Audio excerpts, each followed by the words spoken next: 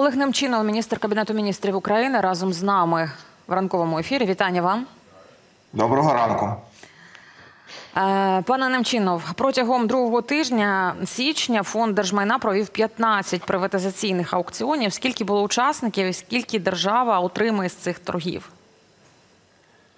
Ну, насправді е- було десь до 70 підприємців різноманітних, тобто приблизно е- на 170 мільйонів гривень була пропозиція, тобто пропозиції зростали десь 2,6 рази. І саме цікаве, як і в минулі роки, це були спиртові активи. На Львівщині було продано сторони Бабський спиртзавод. Переможець запропонував за нього 142 мільйона гривень. Якщо він протягом 20 днів, так як це визначено законодавцем, укладе відповідну угоду, сплатить кошти, то він отримує десь до майже 18 тисяч метрів квадратних і 28 об'єктів нерухомості, які може бути використані відповідно у виробництві. Ну а загалом, е, так як інформує фонд державного майна України, на дані яких я спираюсь. Е, Вони продали також адмінбудівлю в місті Пустомоти, це теж Львівщина, е, у Полтавській області адмінбудівлю, декілька гаражів та іншої нерухомості. Загалом цього тижня вони планують е, 10 аукціонів, і один, напевно, з найбільш очікуваних аукціонів відбувся вчора. Пане Олеже, про які надходження ми можемо говорити потенційні для бюджету, е, принаймні по тих аукціонах, про які ви сказали, які відбулися, які будуть найближчим часом? Ну, по тих, що відбулися, я вже сказав, що це близько 170 Так. мільйонів гривень за тих 15 аукціонів, які відбулися. А той аукціон, про який я вчора згадував, це вже анонсований на навіть навіть з нашому з вами спільному ефірі. Це аукціон на морський торгівельний порт Усть-Дунайськ. Е, Фонд державного майна оцінював його в 60 мільйонів гривень. А проданий він вчора був е, за понад 200 мільйонів. Здається, з 201 мільйон гривень. Тобто е, ціна зросла в понад три рази. І було вісім учасників. Тобто, це ті учасники, які декларувалися ще до початку е, приватизаційних процесів, які брали участь у брифінгах фонду державного майна. І фактично.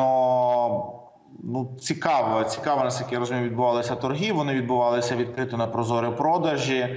І знову ж таки, той самий переможець потенційний має 20 робочих днів для того, щоб укласти відповідні договори і підтвердити своє право на те, щоб володіти активом, який здатен е, перевалювати зерно і інші важливі вантажі зараз для України. Так, ну фактично, це була е, знакова подія в історії приватизації українського держмайна, тому Так, що це вперше. вперше Україна продала порт.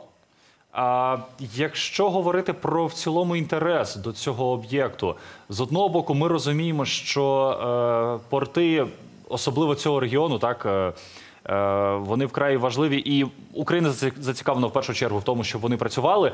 А з іншого боку, е, як війна впливає на вартість цих об'єктів і на інтерес в першу чергу до цих об'єктів?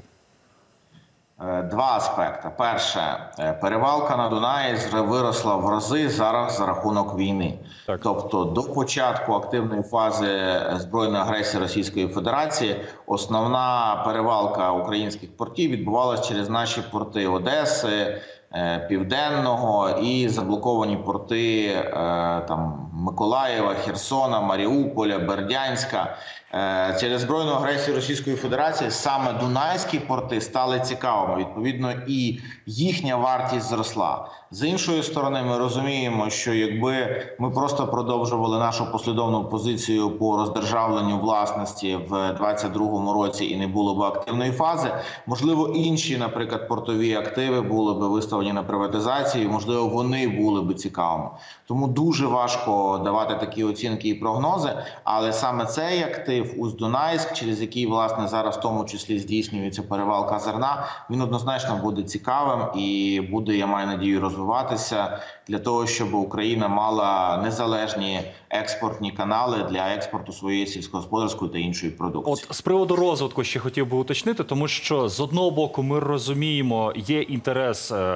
Е, приватного вже власника. Так ну насправді за майже місяць ми дізнаємося, чи дійсно буде приватний власник, тому що ця процедура це важливо, що ви наголосили. е, 20 робочих днів е, для того, щоб укласти контракт. Максимум 20 днів. Може ж бути відбутися це і наступного тижня. Але Тут спільність інтересів держави та приватного власника нового розвиток інфраструктури, розвиток цього регіону. Чи є певні зобов'язання е, для нового власника з боку держави? Ну, дивіться, як правило, це прописується в угодах. Треба дивитися, що конкретно прописувалось, тому що коли відбувався у вересні рестарт приватизації, завдяки чому це можна було зробити? Завдяки тому, що е, новий власник, як правило, брав на себе зобов'язання по всіх е, боргових е, обов'язках підприємств, які видавалися, навіть незважаючи на якісь судові обтяження. В даному випадку я наскільки розумію, це підприємство було в цьому році достатньо успішно за рахунок того, що воно брало участь у зерновій ініціативи. І з 1 квітня порт, коли відновив роботу, він перевалив за рік, здається, там понад 150 тисяч тонн зерна і майже 60 тисяч е, імпортних е, споживчих е, товарів. Фактично, сьогодні порт працює лише на 5% своєї потужності. Треба зрозуміти, що порт до цього взагалі не працював. Тому, звичайно, що потенціал в цього порта є, і е, я переконаний, що якщо буде всі документи укладені, то е, держава однозначно буде зацікавлена в розвитку портової інфраструктури. Ну і ще хотілося б запитати у вас. Нещодавно з'явилося Державне агентство відновлення та розвитку інфраструктури України. Чим саме воно буде займатися, і чи доцільно було от е, злиття двох агентств? Е, По-перше, хочу пояснити, що е, це йде реорганізація двох центральних органів виконавчої влади. Ми не створили щось нове. Ми власне об'єднали е, дві центральних два центральних органах виконавчої влади: це Державне агентство автомобільних доріг. Та Державне агентство інфраструктурних проєктів. Державне агентство інфраструктурних проєктів працювало е, останніх там 12-13 років. Колись воно називалося агенція, яка займалася Євро 2012 Потім воно е, займалося будівництвом аеропортів і інших інфраструктурних проєктів. А зараз фактично ми розпочали процес оптимізації центральних органів виконавчої влади. Ви знаєте, що на базі двох міністерств було створено одне міністерство інфраструктури розвитку громад території, яке очолює віце-прем'єр з питань відновлення, і це цілком продуманий крок для того, щоб розвивати ці процеси. Адже фактично, наприклад, Укравтодор, який буде базовою для створення нової агенції, це структура, яка за останні три роки пройшла дуже вагомий шлях своєму реформуванні, отримала. Підтримку іноземних партнерів е, має спільний проект з Європейським банком реконструкції розвитку, і зараз має отримати міжнародний сертифікат, який дозволяє е, показати е, першою його першою публічною установою, яка має повну сертифікацію щодо попередження корупції всередині структури. Отже, замість двох центральних органів виконавчої влади утворюється один. На ньому концентруються всі функції, які виконувались до цього. Треба зазначити, що в Укравтодору з'явилися і нові функції, не тільки обслуговування доріг. Зокрема, після початку масових ракетних ударів по території України на Укравтодор було покладено також функції е, по захисту критичної інфраструктури.